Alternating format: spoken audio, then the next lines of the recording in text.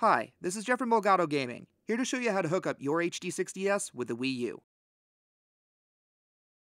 Before beginning, make sure you've downloaded and installed the latest version of Game Capture software.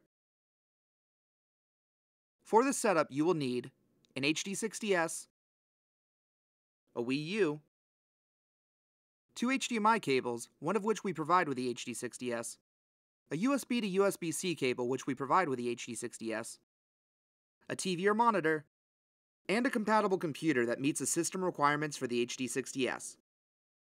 First, on the back of the console, you want to plug in one end of an HDMI cable into the HDMI out port of the Wii U.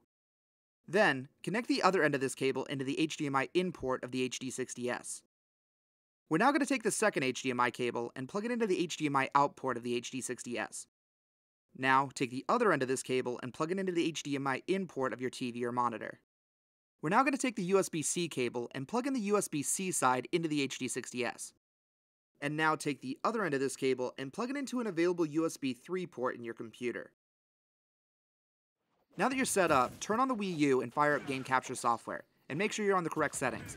And it's as simple as that. With this, you can now play, record, and stream your favorite Wii U game with your HD60S. Good luck and have fun.